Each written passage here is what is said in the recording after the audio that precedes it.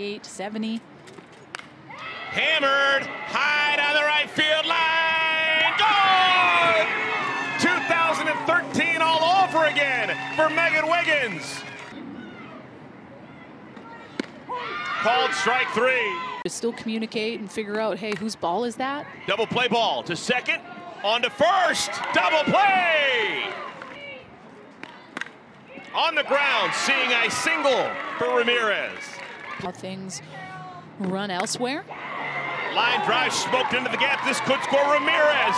Abby steaming around third. She's being waved. The throw, not in time. Slapped into left field. Here comes Jacobson. She stopped at third. Two and two to Nadia Taylor, and she spins around like a top. Oh, I wish. If someone could give me some Bubblicious, that would be awesome. Anissa Urtez looking like Bubba Nichols. A home run to left field. 255 feet, almost similar to Bubba Nichols last game. Let's go, Niece. I love that so much. Infield base hit. Caught by Wiz. Gee Whiz. On the ground.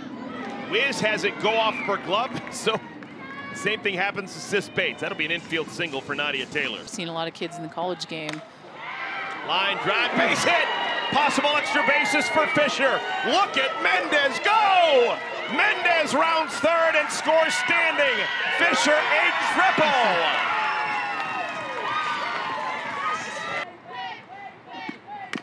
On the ground, possible double play ball. Not in time. To the pitcher. On the ground, to second for one. On to first double play. Davidson strikes out. Good job by Cork. Into center, sinking, and it gets down. Abby Ramirez has had a really nice weekend. And when you're able to play great defense like that and step up. Leach makes the play. Aubrey Leach has been dynamite defensively. In the air, center field. Wiggins makes the play, and it's all over.